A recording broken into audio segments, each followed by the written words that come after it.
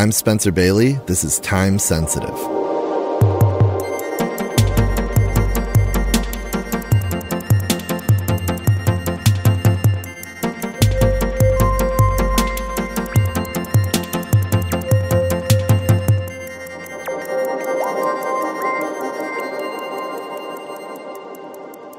Hey everyone, this week on the podcast, I'm joined in the studio by the lighting designer Lindsey Adelman. Lindsey may first and foremost be identified as a designer, but she can and should also be viewed as an artist and sculptor. Through her craft forward studio, she creates pieces that hover between sculpture and design and explore the tensions between organic and industrial forms and materials, combining hand blown glass with industrial and machine milled components. Since launching her eponymous studio in 2006, Lindsey has built a formidable business, perhaps becoming best known for her branching bubble chandeliers, series of works that look as their name suggests glass bubbles elegantly mounted on the ends of brass, bronze, or nickel branches. Also, through her company, Lindsey runs an experimental space called La Lab as a means of exploring and meditating on illumination through the creation of one off and limited edition pieces and private commissions shortly before recording this episode, and a big part of why I wanted to have her on the show, Lindsey let me know that she would soon be shifting her company away from a production model and toward a studio model, moving the majority of in house production to external partners to free up more time for her to further explore her creativity and artistry. Rather than looking for continual expansion or to sell her company, Lindsey told me she had decided that she wanted to make more space for her creative life, even as her business has reached new heights. On the episode, we talk about this approach, or right sizing as I see it, and her motivations for the shift, which have their roots in her time as a student at RISD and match her desires to work in smaller, slower, more intimate, and artisanal ways. Among other things, we also discussed the idea of dematerialization as central to the future of design and the various writers and artists who have shaped her thinking over the years, including Agnes Martin, James Turrell, and Haruki Murakami. After the recording, Lindsey called me to emphasize that she forgot to mention two key artists for her, so I'll just name them here Wangechi Mutu and Pipilotti Rist. Before we get into the episode, I'd first like to thank our season 10 presenting sponsor, L'Ecole School of Jewelry Arts, which is supported by the Maison Van Cleef and Arpels. With the mission of sharing the art and culture of jewelry with the general public, L'Ecole's offerings range from courses on art history and introductory jewelry making and gemology to books and publications. From public lectures and talks to exhibitions such as Stage Jewels of the Comédie Française and Golden Treasures, 3,000 Years of Chinese Ornaments. L'Ecole also has a new podcast called Voice of Jewels. Through a combination of narration and insights from art historians, jewelry experts, and L'Ecole lecturers, each episode delves into the secrets and lore behind history's most mythic jewels. Season 4 explores famous jewels from comic books, including the Infinity Gauntlet, the superpowered bejeweled glove in the eponymous Marvel series, and One Piece, the elusive treasure of the heart of Eiichiro Oda's legendary manga series. Season 5, meanwhile, investigates the legends of pearls, including those worn by Elizabeth Taylor, Marilyn Monroe, and a Renaissance queen. You can find all five seasons on Spotify, Apple Podcasts, or wherever you listen to podcasts. To learn more about L'Ecole and Voice of Jewels, head to www.l'ecolevancleefarpels.com. That's www.lecolevancleefarpels.com. And now, here's my conversation with Lindsey.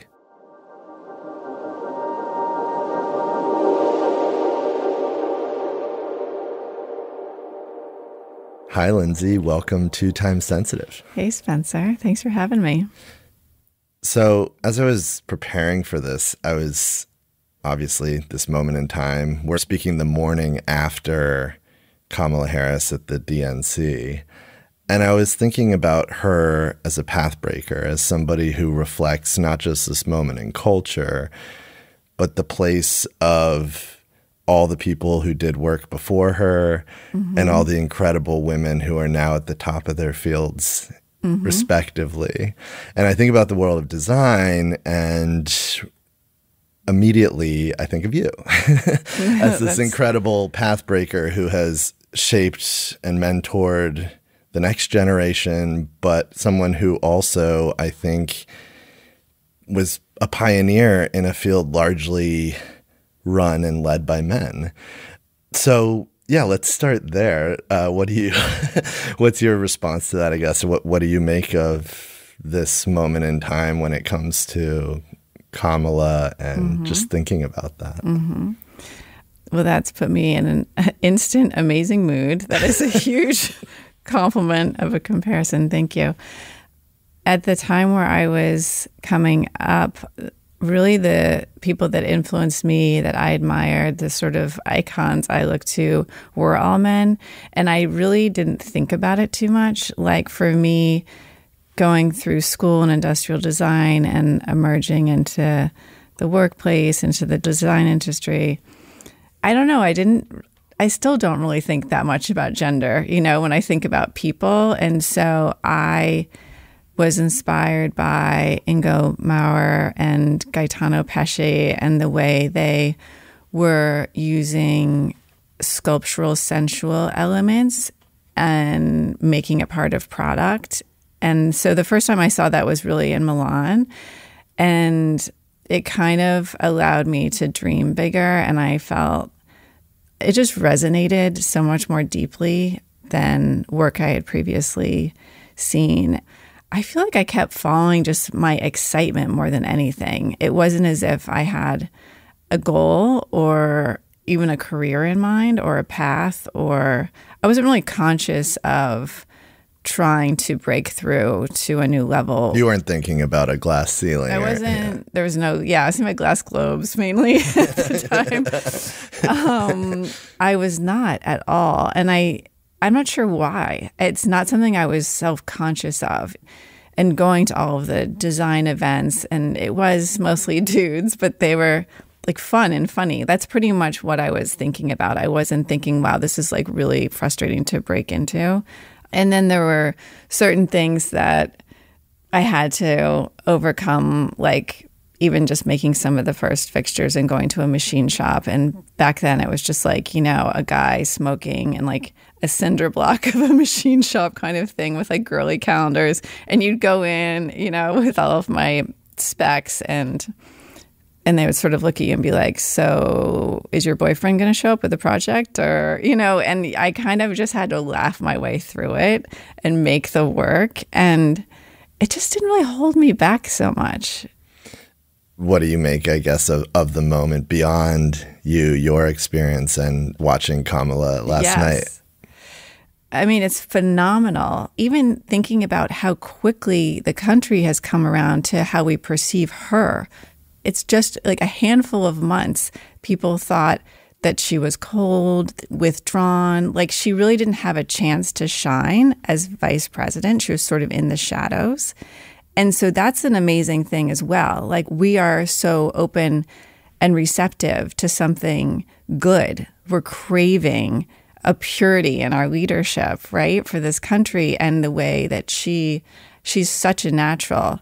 And it was a thrill last year to be able to meet with her in person and I was invited. Wait, wait, wait. You met with what? so I know, what an honor. So I designed a light for her home in DC and the her home is designed by Sheila Bridges and I was invited to be a part of that and what I love is that they really emphasized American made work things that are using a lot of traditional craftsmanship but all in our country and so it was a really intimate dinner, which honestly, I, this is kind of funny. Like I didn't realize they're like, be there at six. And I was like, oh, I'm sure it's going to be 150 people, cocktail hour, dinner, you know.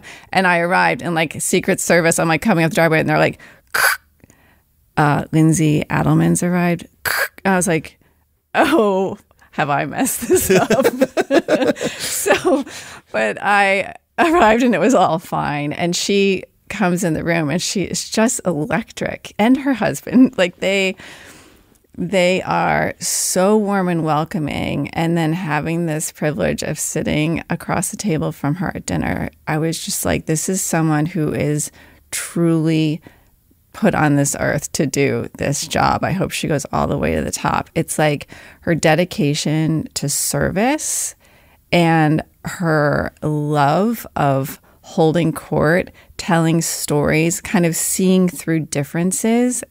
She kept bringing things together for these commonalities, even just amongst us at the table. She sort of like just rises above any small, trivial issues that we might get caught up in. She just sort of like sees right through it and is just with this huge heart, so much love, so much strength, and like told these funny stories. Like, like her favorite time in the house so far was when she hosted a hip hop party, and I was like, "That sounds amazing." She's like, "Yeah," because I called Lil Wayne and he came to perform. I'm like, "You're so cool." yeah. I mean, they've been using the word joy in the campaign, but for me, uh, the term common sense also keeps getting brought yeah. up. And for me, that's the term, like common yeah. sense. I actually feel like they should just do a campaign Kamala sense. Yeah. like that's what it is. yeah. You know, there is something about joy and pleasure, and that is a rebellion to embrace that in the face of such suffering and misery and darkness in the world. It's pretty brave to be optimistic at a time like this and radical and rare. And she exudes that. It sounds like you're describing light. yeah, yeah, pretty much. well, you're someone who's spent a lot of time thinking about playing with and sculpting light. And so I wanted to ask, what to you are the most beautiful light sources? Hmm. I love flame. I love fire at night. I love dim spaces. I'm not really that into bright, glaring midday light. I really think there's something beautiful about sunrise and sunset. I think it's that tension between light and darkness when you're aware of them both existing is when light is the most beautiful you recently had this exhibition of oil lamps mm-hmm. called A Realm of Light at Tiwa Gallery here in New York, which centered around the idea of slowing down, something we mm-hmm. think a lot mm-hmm. about here at Time Sensitive, and also ritual and ceremony. Tell me about your thinking behind those particular objects. Mm-hmm.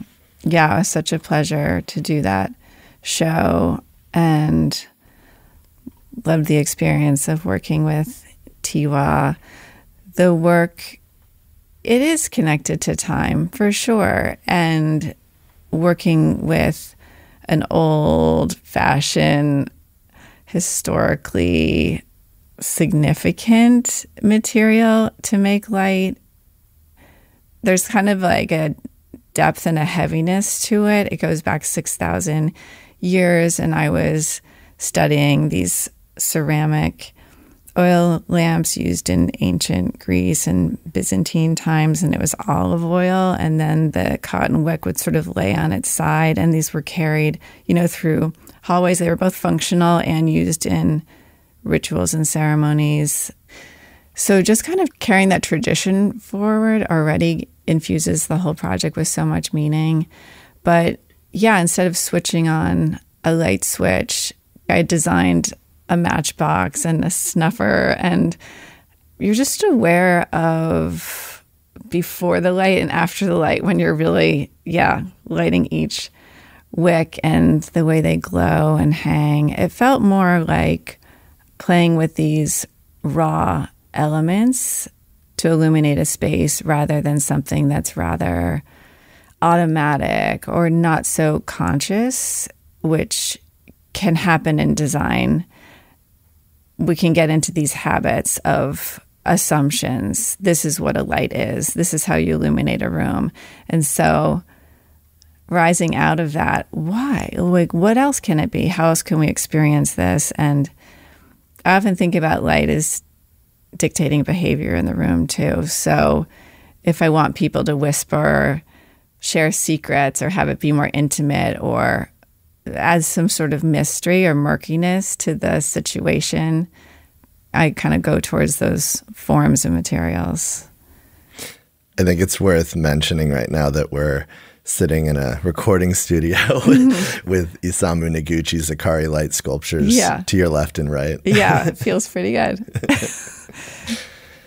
A neighboring street to the studio, Poplar Street in Brooklyn Heights, actually has some of the last remaining street gas lamps mm-hmm. in New York City. I love that they're still there. Like, there's mm-hmm. this, I don't know, the fact that there's somebody from the city who comes and still tends to these flames when they go yeah, out. yeah. There's something really remarkable about that. So beautiful. I know, like keeping this torch alive from the past. Yeah, I guess there aren't very many left. I didn't realize that, but you definitely always notice them when you come across them, or maybe in other countries it's more prevalent. Yeah, it's pretty magical. It's because flame's alive, it's moving and responding, and electric lights don't do that. What do you think are the worst sources of light? I mean, for me, it has to be these new LED street light posts that have been going up all over New York Mm-hmm. City the past couple of years.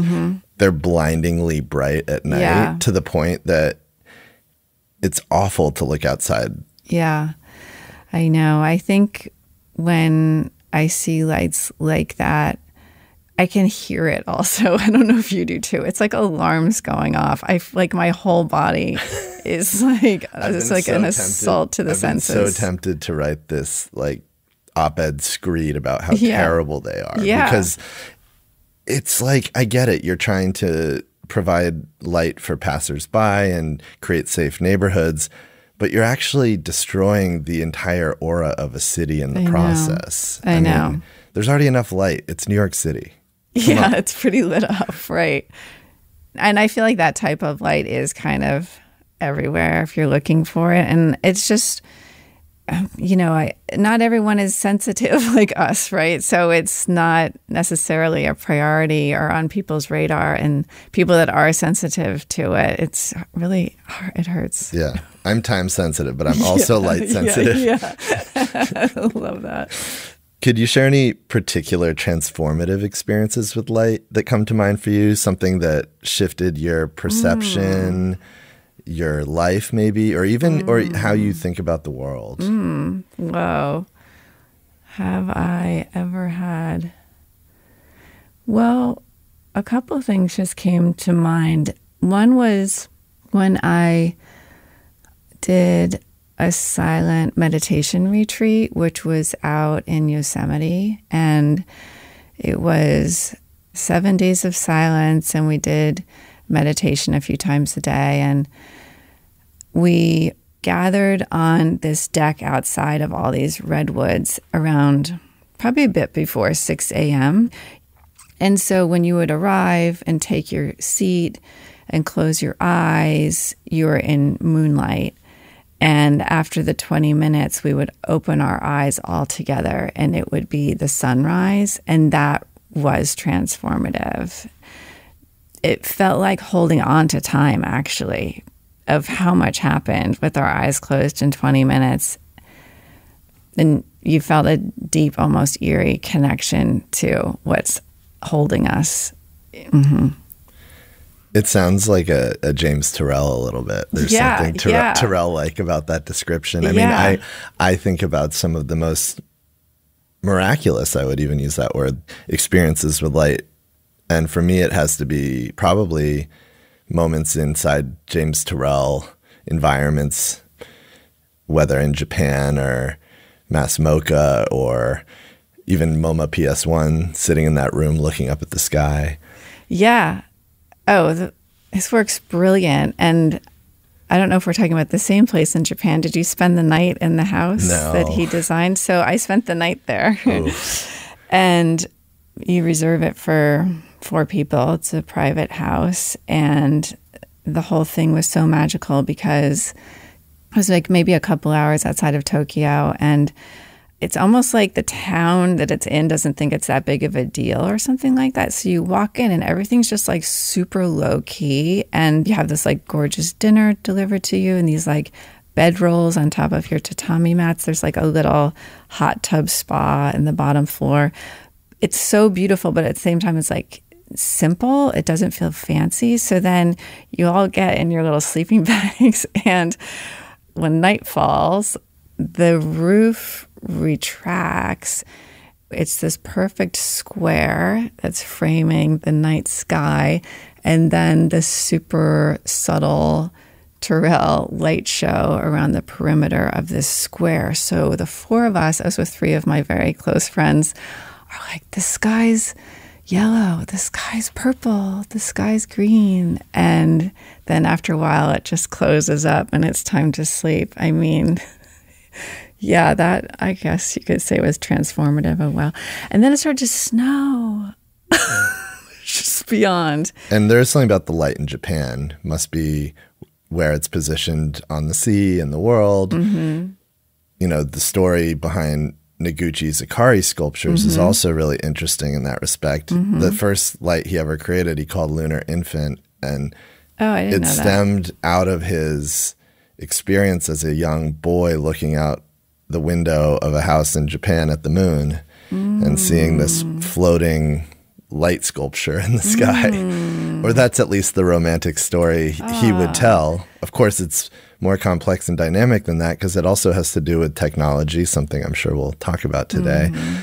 of rethinking these old paper lanterns mm-hmm. that were used for rituals, floating candles down the down the uh, river, or mm-hmm. um, you know objects in the corner of a room with a candle under them, kind of lit up by this washi paper. Mm-hmm. But transporting that into the technological moment of the mid century, mid 20th century, by adding an incandescent bulb. Mm-hmm, mm-hmm. So I don't know. It's interesting to think about this line from Noguchi to Turrell and.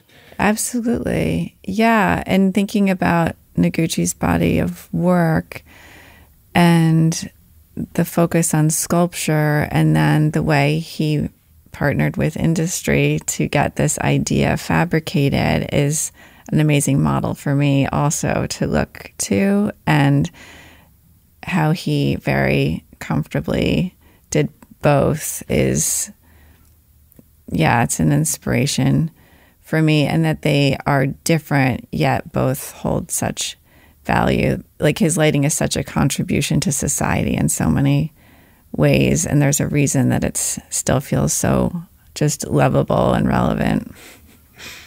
The glow. the glow. what ways, if any, do you think light impacts our sense of time? Yeah, so many ways. I mean, as we were just talking about how it affects our emotions so much, and I think our emotions have a huge impact on how we experience time we notice things when we want to notice things, which usually means that there is some element of beauty or gentleness or love, or we feel like we've been giving credit to notice something or that we're we connect with something, something resonates. It's like when we're in that space to notice so much, an hour feels like a day. And when things are harsh, which can be related to light, well, we want that time to go back by fast, right? And it does. And so, like, I think about that a lot with travel and how the days seem so long. Or I go out to LA fairly often and I'm going to go pretty soon. And I feel like I have a week and a day every time I'm there. And I think it's a combination of the quality of light, but I also of all the newness. You're not in a habit anymore, even if I'm there for a while, like 10 days or something.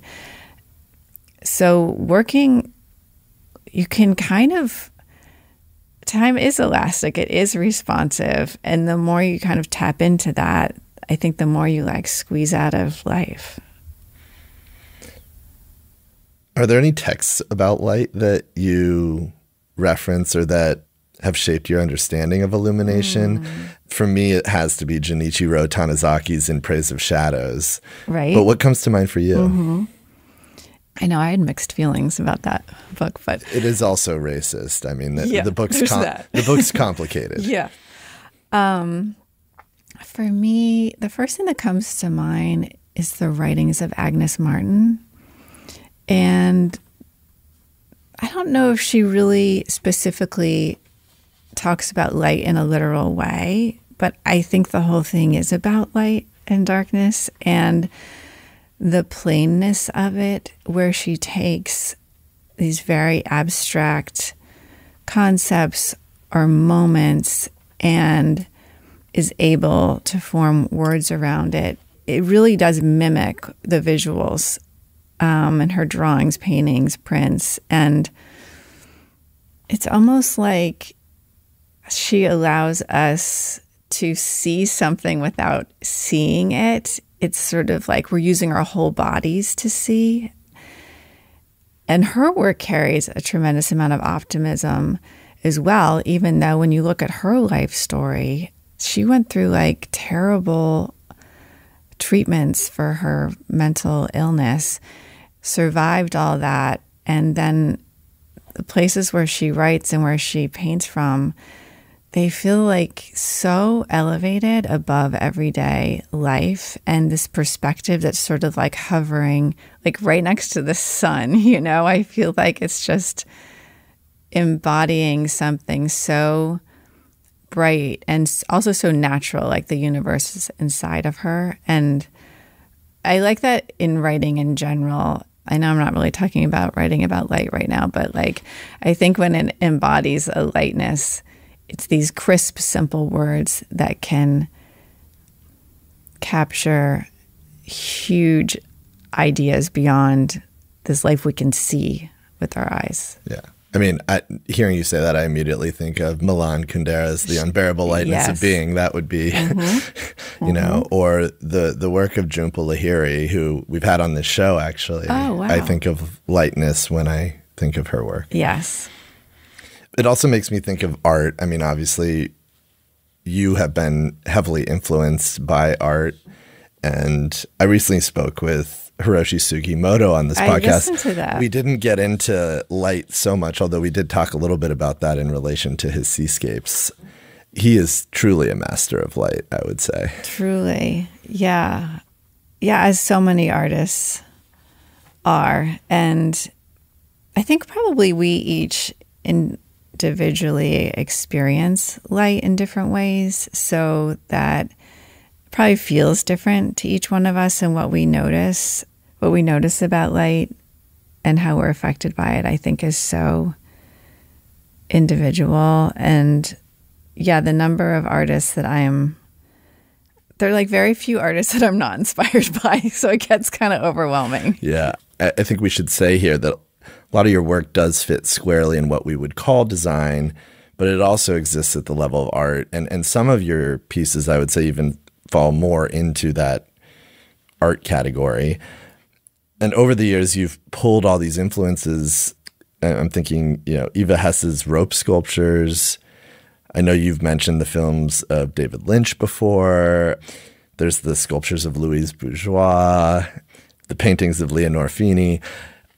Maybe just elaborate a little bit on your taste in art and mm-hmm. and how it finds its way or wends its way mm-hmm. into your work. Yeah. I like work that feels brave and also where I'll say the method of construction is a bit transparent. So it feels sort of like accessible. Like I love going to shows where I'm just fired up to go back to my studio to make something. And whether that's just through a lot of manual labor of like something repeated over and over, some sort of like process or gesture and then I just love when people turn mundane materials into something that's like super ethereal. But I also like work that's sort of that can be really jarring. I love Paul McCarthy, for example. like that installation at the Park Avenue Armory, which was quite a while ago, has really stayed with me. And I make video also. And so I think about pieces that or like and Matthew Barney too actually when you're using like objects or materials as props and then using them in a film and then the film is telling a story of what happened and you're sort of like looking at the aftermath or residue of it like even though my work doesn't really look like that I I think what I'm interested in is this fine line between reality and fantasy and going back and forth. And something that I quite love about being a designer is that it's like an interception or an intervention into people's daily life, but it's also like hacking into their fantasies. So, especially with the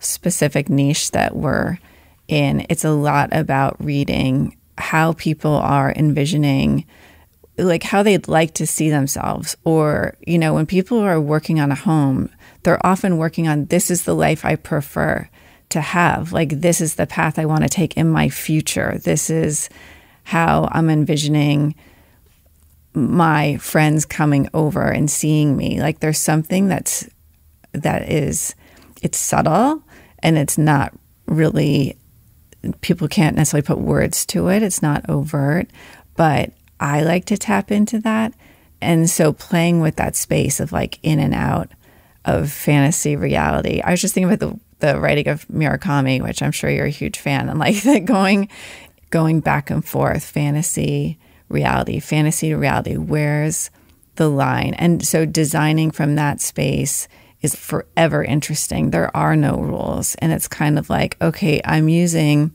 materials like bronze or glass, but what I'm forming is something that we're not familiar with.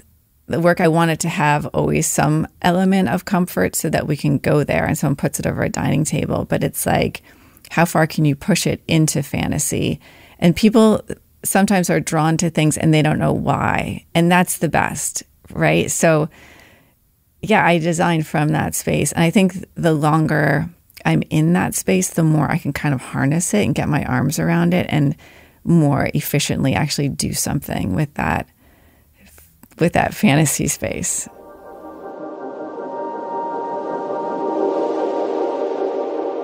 Hey everyone, taking a quick break here to tell you a little bit about our season 10 presenting sponsor, L'Ecole School of Jewelry Arts, which is supported by the Maison Van Cleef and Arpels.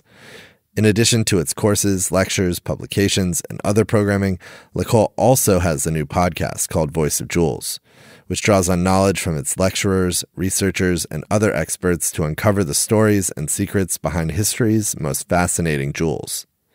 The first five seasons, respectively titled Sentimental Jewels, The Blue Diamond's 1001 Lives, The Gold's Amazing Saga, Iconic Jewels of Comic Books, and The Legend of Pearls, are now available on Apple, Spotify, or wherever you listen to podcasts. Upcoming seasons will explore the themes of talismans and the relationship between jewelry and literature. You can learn more about L'Ecole and Voice of Jewels at www.lecolevancleefarpels.com. That's www.lecolevancleefarpels.com. And now, back to the episode.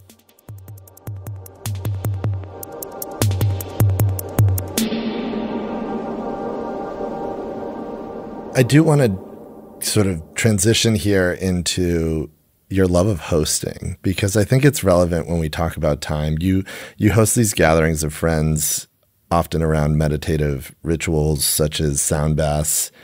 You've done figure drawing sessions, and even as was covered in the New York Times, a, a two hour cacao ceremony. so I assume you've read Priya Parker's book, The Art of Gathering, or if you no. haven't, you should. Okay. and I guess my question here is what is it about these gatherings that mm-hmm. so moves you and what compels you to host them and mm-hmm. Create them? Yes, it's so similar to my craving for designing lighting, which is so much about setting up the situation for then real life to happen within it. And so with the gatherings, I'm really interested in how I can make people feel, either about themselves, about each other, what their experience is.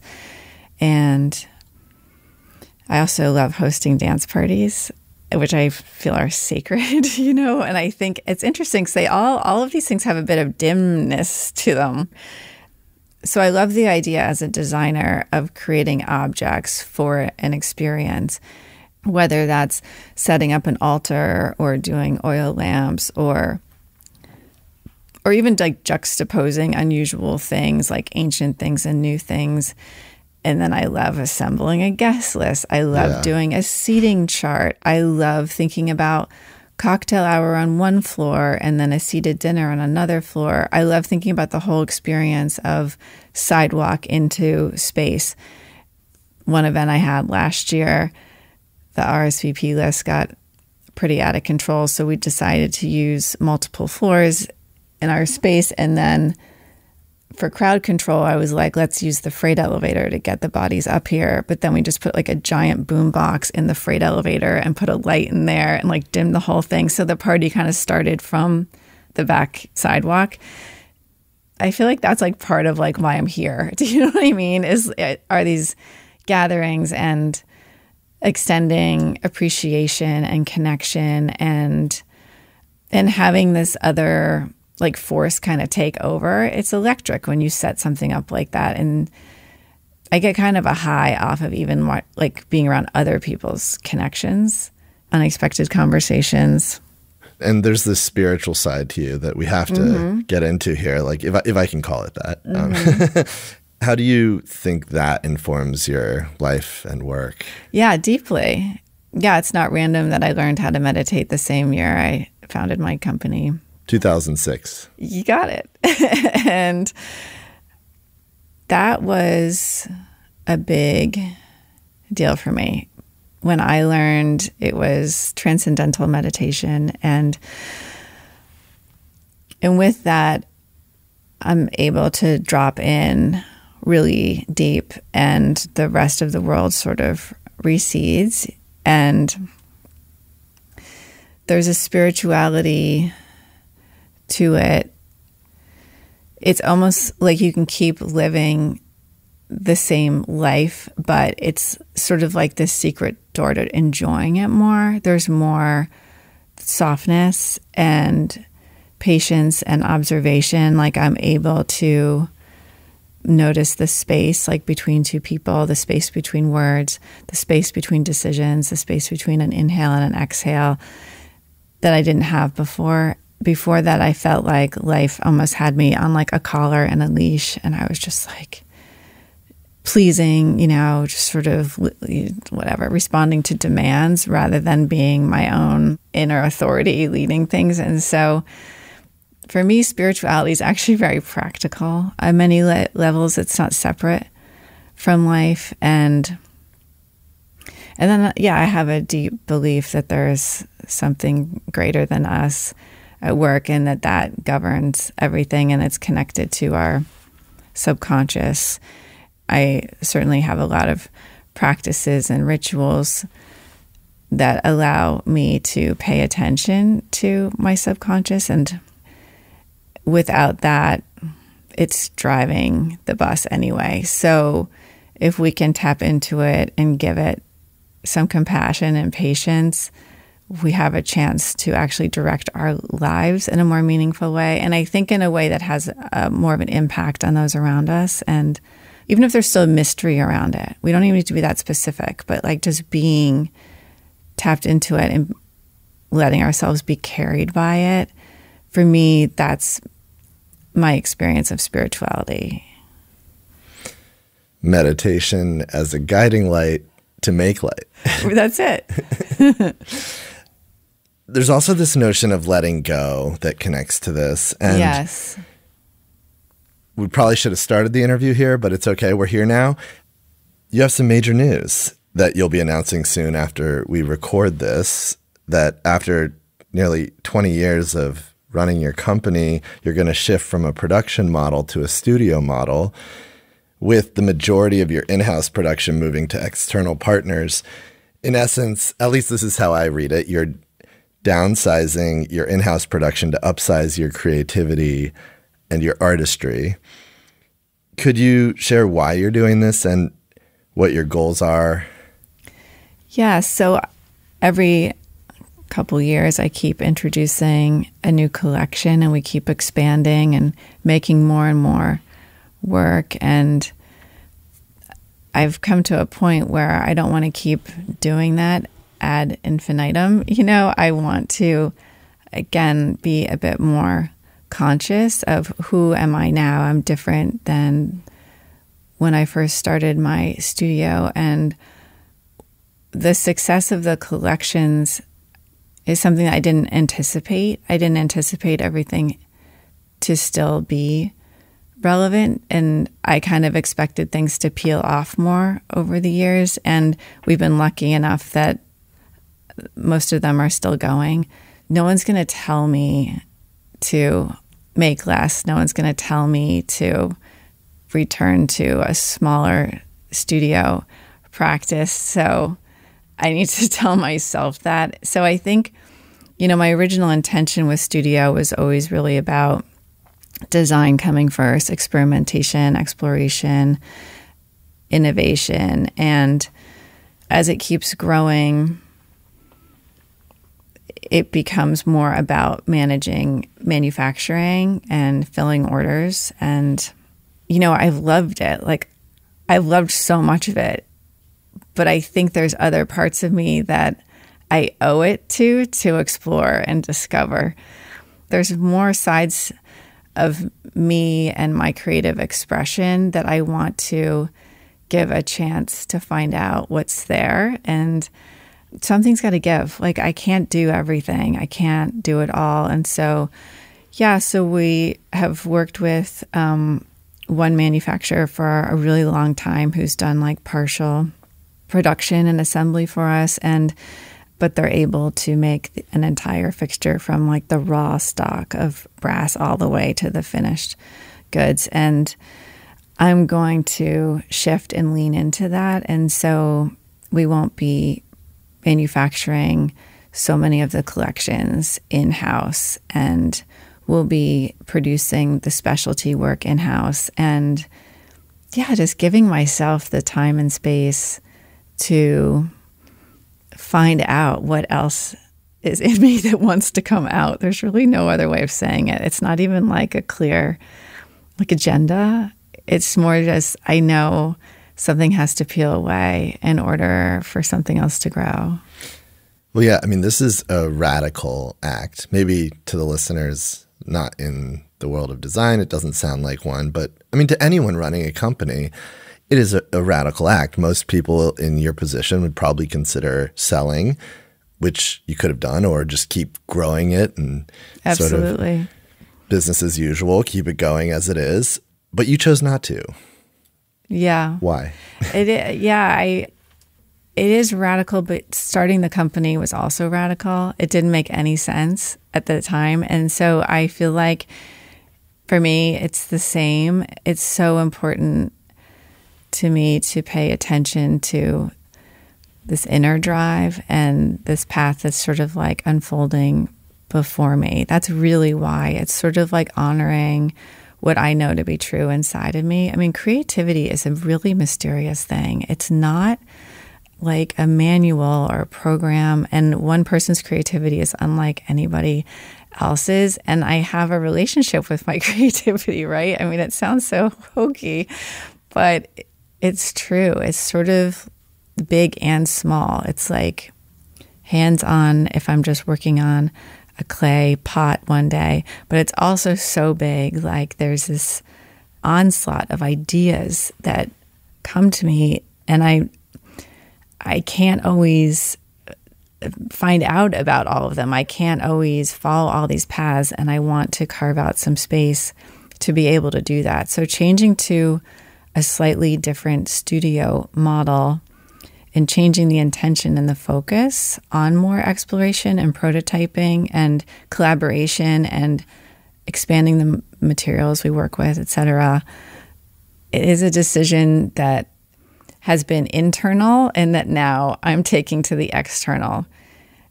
And it's not easy because, again, like when things are good, it seems like it's not like you're going to get a tremendous amount of support to be like, you should change everything. It's going really well, you know? So it's a hard decision and one that I've struggled with for a while. My team is phenomenal and there'll be fewer of them, but everyone is in studio now because they're an overachiever. Like they deliver, they perform, and we're like a family. And so I actually have this strange faith that I'll receive support even from people that are receiving news about change in their life that they might not want.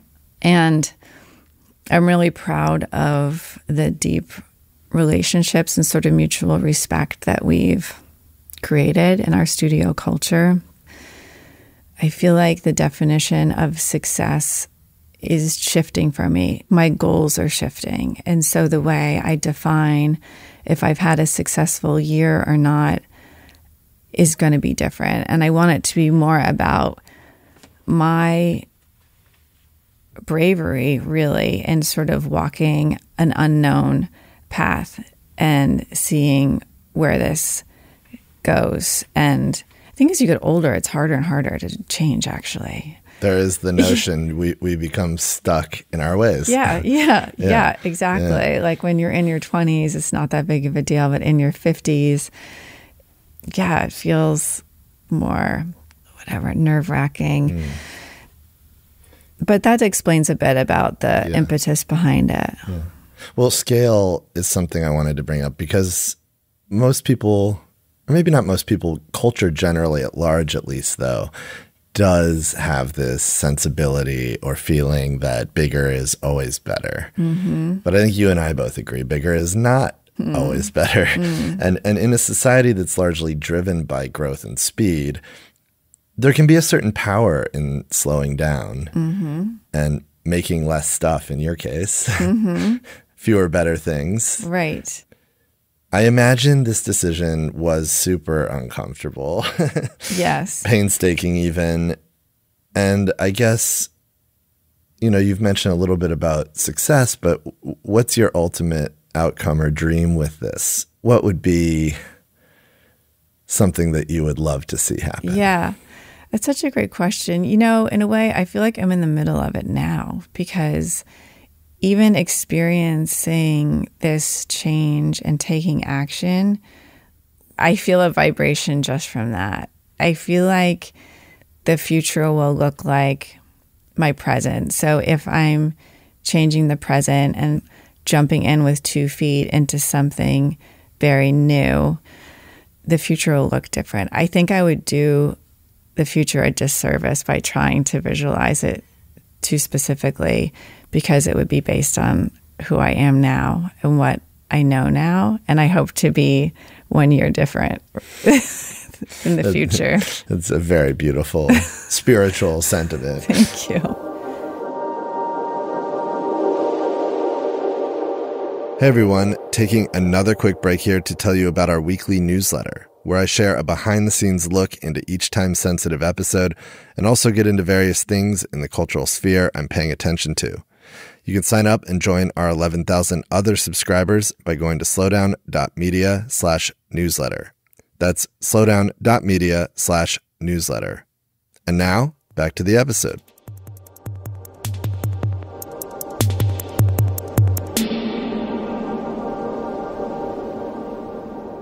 While we still have some time, I wanted to bring up your first product. I believe is your very first product or one of your first products, the branching bubble chandelier. And I bring this up because I'm sure half or more than half or many of our listeners don't even know it. Maybe they've seen it but don't know that that's what it is. Yeah. It quickly became a hit product when it came out. I think it certainly can be argued that it's one of the more influential lights in recent years or of the early 21st century. What do you make mm-hmm. of this, of its success? Why has the bubble chandelier been so copied, mimicked, knocked off, mm-hmm. yeah. transported around the globe? yeah, yeah. Um, yeah, it really hit a nerve at the time and it really like tapped into some desire, I feel like at the time. And I think it was maybe both on like a practical level and an emotional level. Like I built a system where light could, in a very functional way, sort of travel around the room using a real economy of materials actually like the whole like a 10 foot long branching chandelier you know before we build it it fits into like a shoebox like all of just the tubes and joints and then the globes are separate and so there was something about hitting on this structure, which is you know, found in nature or like it's just 120 degree angles, really like a Bucky Fuller kind of don't like it's it's sort of using a structure that's that we know.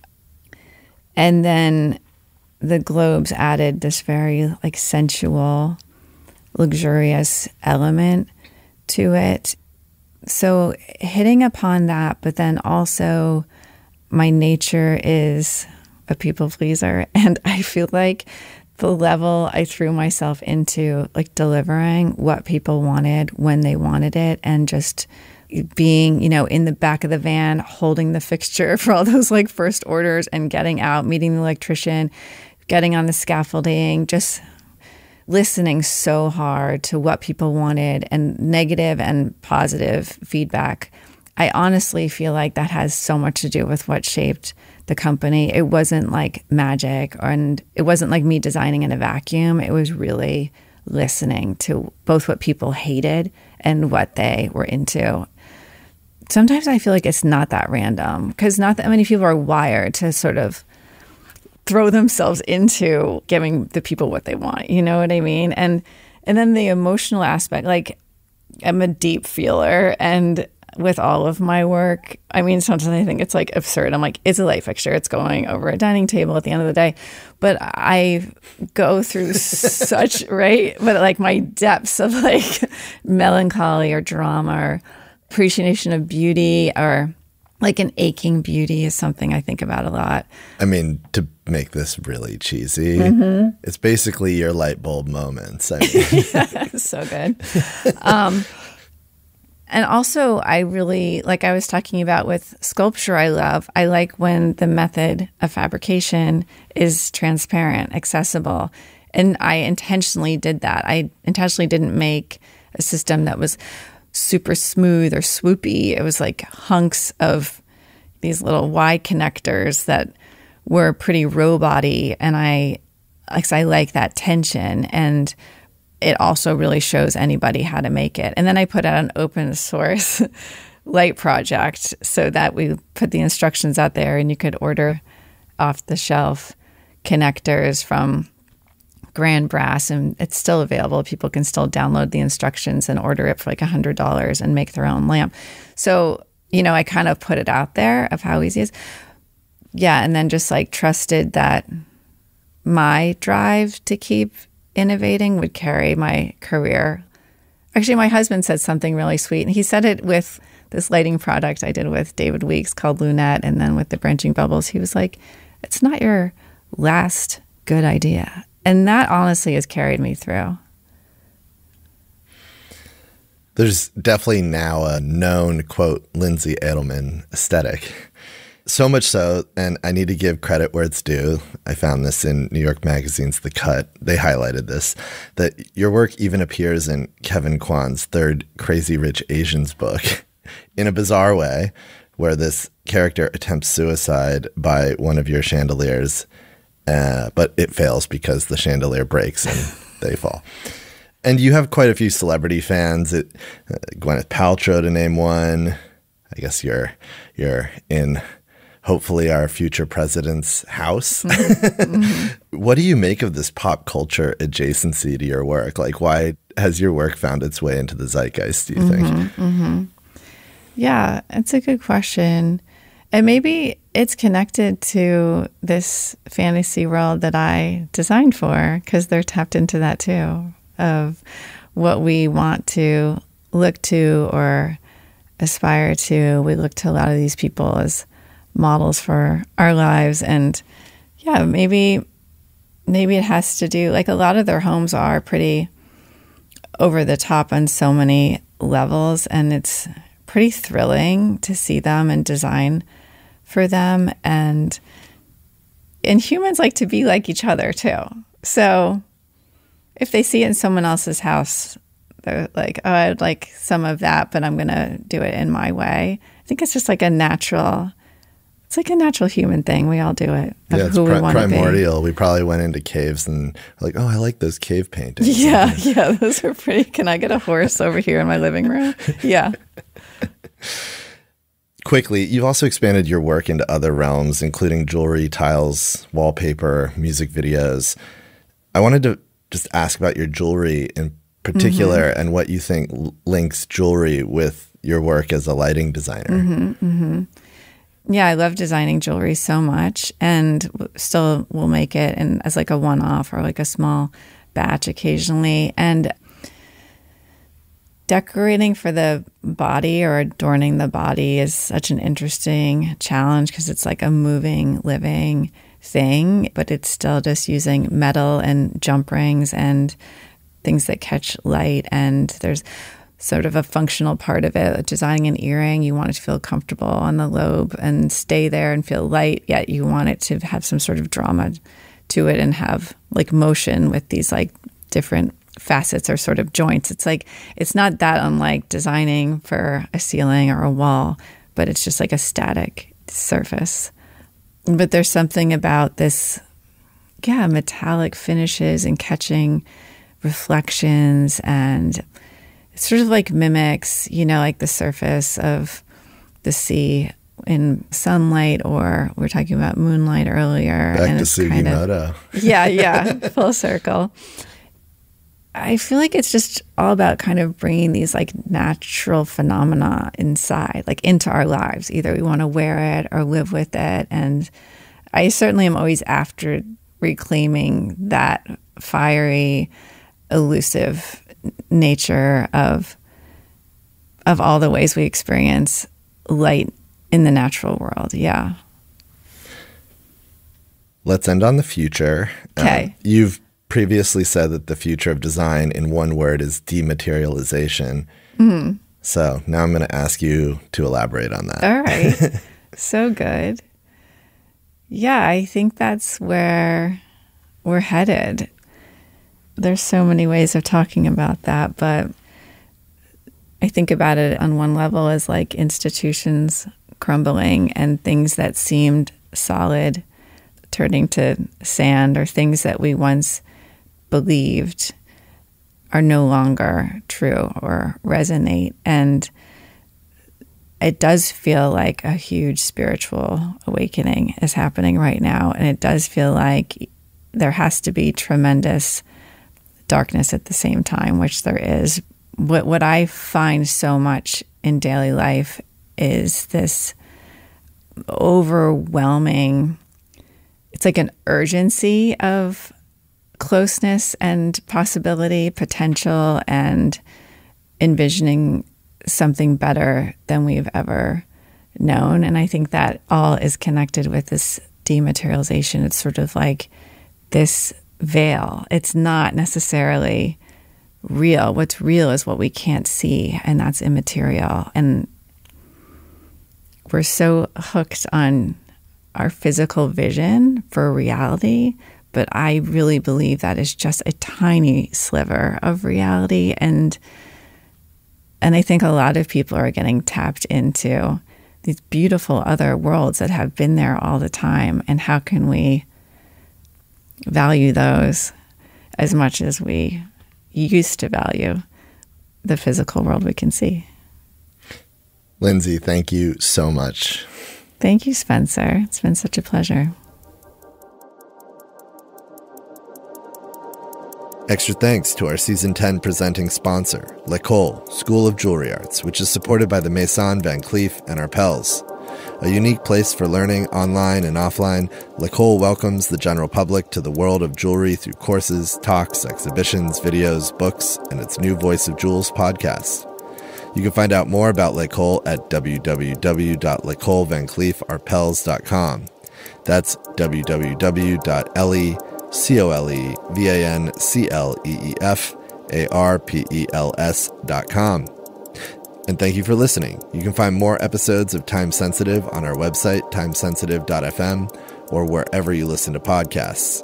To keep up with our latest time sensitive episodes and get behind the scenes updates, sign up for our newsletter at slowdown.media slash newsletter. That's slowdown.media slash newsletter. You can follow us on Instagram at slowdown.media. Our theme music was composed by Billy Martin. This episode was produced by Ramon Broza, Emily Jang, Mimi Hannon, Emily McDonald, and Johnny Simon.